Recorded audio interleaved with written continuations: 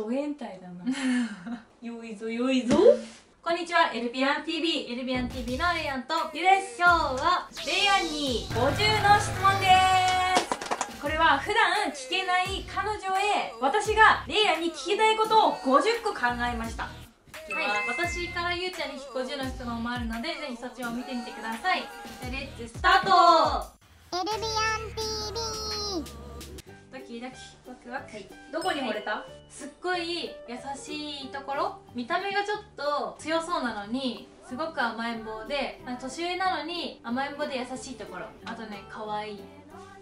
全部好きだと思うけど一番はどこが好き？ゆうちゃんって5歳離れてるんですけど年上なのにとっても甘え上手なんですよその甘えん坊なところ母性をくすぐられちゃう。もっとこうしてほしいところ。ありますか？今までは家事をしてなかったけど同性を解消するようなドッキリを仕掛けたことによって積極的に家事をしてくれるようになったので今はこれをしてほしいってことはないです。疲れてる時にマッサージとか紳士的なあそう気遣いとかはしてくれたら嬉しいなって思います。付き合う前と付き合ってからの印象の違いってある？付き合う前よりも付き合った後の方がなんかいい意味でリードしなくなった。付き合う前はここお店予約したからみたいな。何時にここここ行くからみたいな感じのすごいもう何でも決めてくれちゃってたんだけどなんか付き合ってずっとこれだったら自分の意見とかあんまり言えないから嫌だなって思ってたとこだったの。でも付き合ったらすごい何しようかこれしようかって一緒に考えてくれるようになってそこが良かった今正直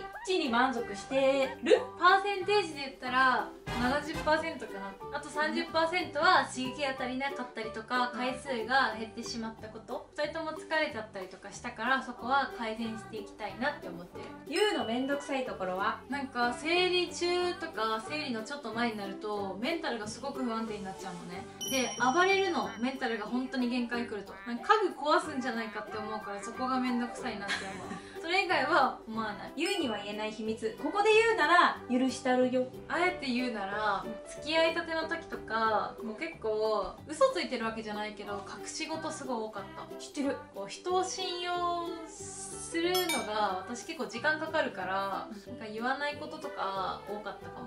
言うの可愛いところは？いっぱいあるけどなんか一人で私が何かに没頭してる時に後ろから来て寂しいかまってって言ってくるところが可愛い。ワンちゃんが2匹いるんですけどそのワンちゃんとじゃれてる時はなんかねとってもね愛しい感じの目をしてそれを客観的に見てるのが好き。かっこいいところはさりげなくメンタルケアしてくれるところかな。言うの出かけてる時は一人で何してる？基本的に携帯見てたりとか、うん、あうんゲームしてたりもする。最近あつ森買いました。言うを一言で表すとちっちゃい狼。ついなんか犬2匹とゆうちゃんがいるとなんかもう123匹ってなっちゃう。やんちゃな部分が多いからかな。過去の夜の経験で一番気持ちよかったこと「50 Shades of Grey」っていうちょっと過激な映画があるんですけど、ね、それを見ながらそれの動作と全く同じことを一緒にした時。何をしてもらうと嬉しい？家事。今してくれるようになったから嬉しい、ゆうとの初めてはぶっちゃけどうだった？思ってたのと違う。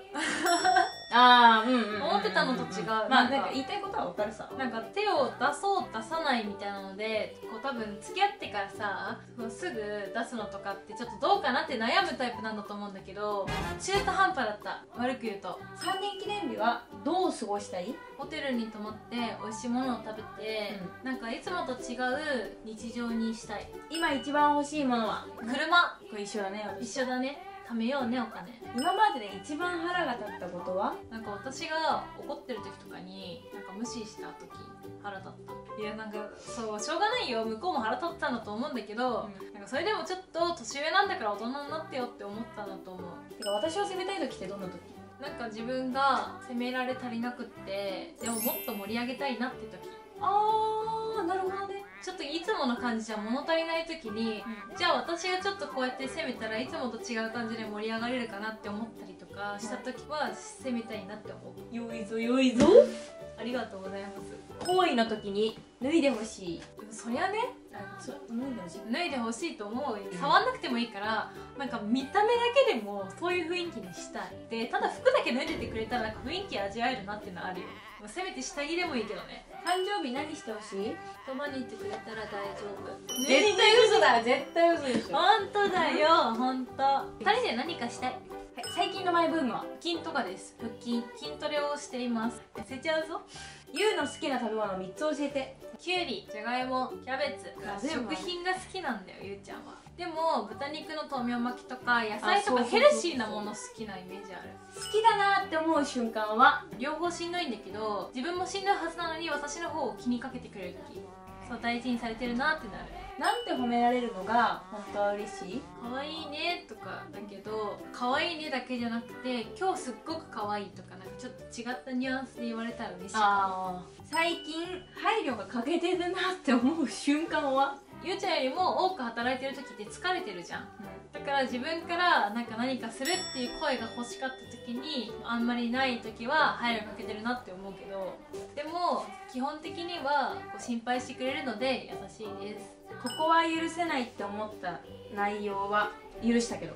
まあなんか私が体型気にしてるけどゆうちゃんは体型のことに対してはあんまり関心がない。うんうんうん。でも体型のこと気にしてこうしてるのにって時になんかすごい価値観違うから冷たい目のことを言われるとうわーってなる。明日もし世界が終わるならゆうとは何したい？4人でお弁当をべ終わって遊んでその後ちょっと風が気持ちいいなった時に4人でお昼寝してる時に待っててほしい。一緒にしたいアウトドアは意外って思われるかもしれないけど山登りしたいかも。山登りっていうか多分ハイキングかな。ハイキング。ちゃんが思ってる。うんハイキング。キャンプしてみグるランピングかな？うんグランピング？ごめんなさいねなんか。そ揃ってるのがグランピング。そうだね。じゃあグランピングかな？うん。海外旅行するならどこ？一緒に行きたいって話したシンガポールサンフランシスコニューヨーク。ディズニーはランドとシーどっちが好き？なんか今までは C だったんですけど大人になるにつれてなんかランドの方が好きになりました。ディズニーで一番好きなキャラクターは好きなキャラクター何何個かいてピグレットとかにも似てるって言われるのでピグレットが好きで。好きなんだ。そうあとスティッチとかうん。あとティンカーベルとか好きですあとプリンセスとか。好レイちゃんにとって何してるのが一番幸せ？き食べてる時が一番幸せだけど一人じゃなくてゆうちゃんと食べた時の方が満足感はある。今後してみたいプレイは？なんかもうちょっと変態なやつがいい猫から見て恋の時立ちを可愛いと思う瞬間はどういう時？微妙って思うかもしれないんだけど私がこう感じてる時にちょっと理性を失ってるのを見て私の体で理性を失っちゃってるんだって思うのが可愛いド変態だな倦怠期を感じたことはある。なんかあった時はその時に乗り越えようねみたいな。正直昔よりかっこいいと思わなくなった。見てドキドキするかっこいいこの人と何かしたいいやらしいことしたいみたいなことを思ってたのがそうじゃなくて可愛いなになった。立ちに甘えられるのはぶっちゃけ嫌ですか？うんすごい好きだよ彼女が年上でよかったなって思う瞬間は私よりも物知りなところ。今年絶対行ってみたいところは？え なんかもうコロナで潰れちゃったからディズニーは行きたい。九州や沖縄の方。なんか大阪から下の方の県はあんまり行かないからそこは行ってみたいなって思う。ゆうちゃんのこれだけは絶対受け入れられないという行動は？えあるんだけどこれ言っていいかな。おならについてなんですけどおならをした時に私は自己申告してねっていうの。だけどゆうちゃんは私に怒られるって思うのか。なんか何回言っても自己申告してくんないのね。言ってほしいの私はこのおならしちゃったから窓開けるねとかしてほしいのに。なんかバレバレるまでずっと何言うまでずっと否定し続けるのがマジで嫌だ。立ち役が多いけどゆうも下着を気を使うべきですか？気使ってほしいかもしれない。こう容姿とか雰囲気とかを壊さない程度のものを気使ってほしい。はいはいはい。2人でお揃いにしたいなって思うものはありますか？ネックレスです。新しくお揃いのものが欲しいです。年の差でこれはないなって思ったことはある？年上なのにここ引っ張っててほしいなとかここ自分よりもできてほしいなって思うことができてないのを見ちゃうとおよよってなっちゃうけど2人でね補っていければなって思います。ぶっちゃけペアリングってしたいと思ってる？まあすっごい望んでるわけではないけどまああったらあったで嬉しい。え2人でトントンしに行きたくない？それったらうんトントンしに行きます。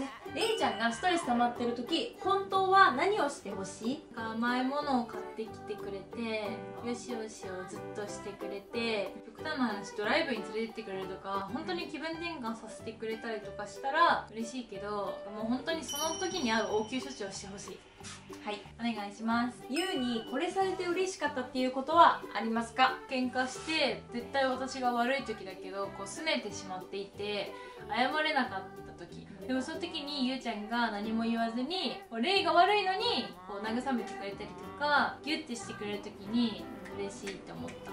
料理下手だけど何作ってもらったら嬉しい？何でも嬉しい。でもなんかあえて言うなら好物作ってくれたら嬉しいよ。麺のもの。とか愛してるって気持ちはちゃんと伝わってる？伝わってるよ。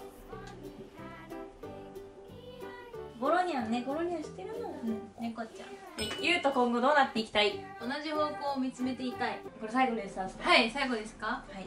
今幸せですか？とっても幸せです。ありがとう。ありがとう。